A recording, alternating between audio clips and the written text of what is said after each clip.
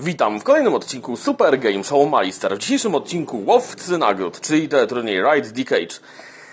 Dawno nie poruszany temat, ale tym razem warto go poruszyć, gdyż w tym roku minęło 10 lat od światowej premiery tego teleturnieju w telewizji izraelskiej. Mianowicie 4 stycznia 2013 roku e, miała premierę oryginalna wersja w Izraelu, no i od tej pory minęło 10 lat, a nawet 10,5 roku. No ale skupmy się na, że to, mówmy się, że jest dziesięciolecie. No i z tego tytułu dzisiaj takie statystyki dziesięciolecia dotyczące Ride Decade w skali światowej. Gdyż ten te, turniej trafił do 18 krajów świata. Był emitowany w 18 krajach świata na czterech kontynentach. W Europie, Azji, Ameryce Północnej i Południowej. Jeśli chodzi o e, właśnie wersję, no to yy, w niektórych krajach program się przyjął, w innych nie. W każdym razie nie ma dokładnych danych, czy poszczególne wersje nadal trwają, czy są już zakończone. Polska wersja na pewno jest zakończona, a izraelski oryginał także. Także w kilku krajach na pewno program jest zakończony, w kilku krajach no niby trwa. Ostatnio grupna wiadomość, że wchodzi do Stanów Zjednoczonych. Właściwie y, po dwóch nieudanych próbach wprowadzenia na NBC ma wejść na CBS. No o tym mówiłem już w SGSM News. No ale w każdym razie. Ten turniej e, Ride Decade E, był w 18 krajach świata, jest w 18 krajach świata lub był, e, emitowany przez 20 stacji telewizyjnych. E, gdyż w dwóch krajach, mianowicie w Turcji i USA, była emisja więcej niż jednej stacji telewizyjnej.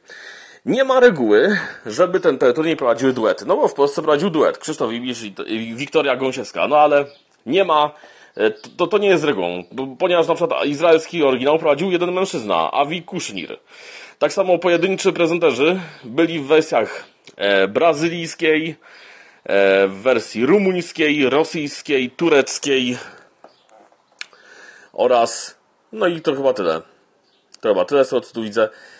E, w każdym razie, jeśli chodzi o duety, no to duety prowadziły ten, ten turniej no, w Polsce, w Argentynie, e, w Kolumbii, w Grecji, na Węgrzech, w Meksyku, w Paragwaju, w Peru, w Portugalii, tutaj mamy ciekawostkę, bo tutaj mamy, mieliśmy dwa duety prowadzących e, na przestrzeni dwóch lat istnienia tego teleturnieju w Portugalii.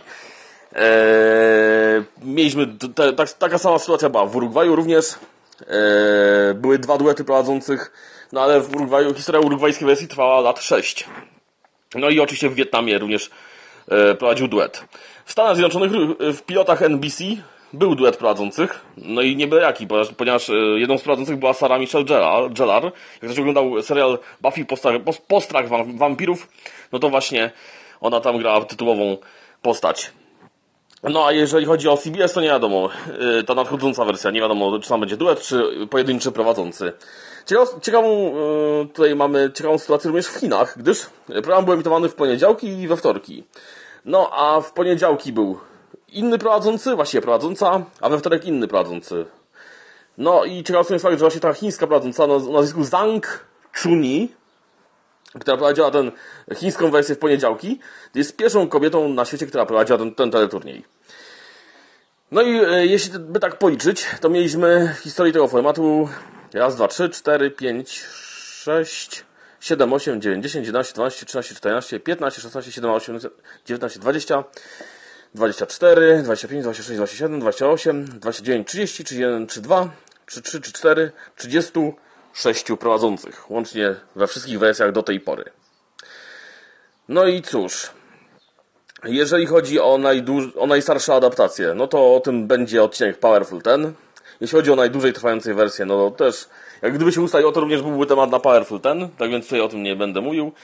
Eee, właśnie, jeśli chodzi o te kontynenty, to mieliśmy E, wersja w sześciu krajach Ameryki Południowej, dwóch krajach Ameryki Północnej, e, pięciu krajach Europy, no a cała reszta to Azja. Czyli generalnie nie wiadomo jak zaliczyć Izrael. Czy to do Europy, do Azji, czy jedni, jedni zaliczają Izrael do Europy, inni do Azji. No a tak naprawdę to, to ciężko właśnie to stwierdzić. No ale ja, większo, mi się wydaje, że taka procentowa największa, większość, y, największa ilość wersji jest właśnie hiszpańskojęzycznych, gdyż mieliśmy w takich krajach Argentyna, Kolumbia, e, Paragwaj, Meksyk, Peru. I to są kraje hiszpańskojęzyczne. Jeszcze Urugwaj.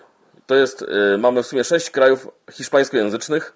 Mamy także dwa, dwie wersje portugalskojęzyczne w Brazylii i Portugalii oczywiście. No a reszta to są pojedyncze języki, czyli chiński, hebrajski, y, węgierski, grecki, polski, rumuński, turecki, no i wietnamski i oczywiście anglojęzyczna wersja w Stanach Zjednoczonych. No i rosyjski oczywiście. Eee, bo y, jeszcze co, co należy powiedzieć? No to, chyba wszystko, jeśli chodzi o takie statystyki. Jeśli chodzi o nagrody główne, to mieliśmy dwa zwycięstwa w Portugalii, na pewno, i pięć zwycięstw w wersji chińskiej. To są e, zdo, zdobywcy głównych nagród mm, w całym programie. No ale tabela podana na Wikipedii niestety nie jest kompletna, gdyż tam pisze, że jest, jest całkowicie, jest ciągle aktualizowana. No a tak naprawdę każda z tych 18 wersji, które powstały do tej pory, wymaga oddzielnego odcinka, oddzielnego omówienia, tak więc jeśli nie będę zapuszczał e, w szczegóły. Tyle, tyle statystyk dotyczących dziesięciolecia turnieju Ride the Cage. A jakie wy macie skojarzenia z tym formatem, z łowcami nagród, piszcie w komentarzach. Za dzisiaj wam dziękuję za uwagę i do zobaczenia w kolejnym odcinku.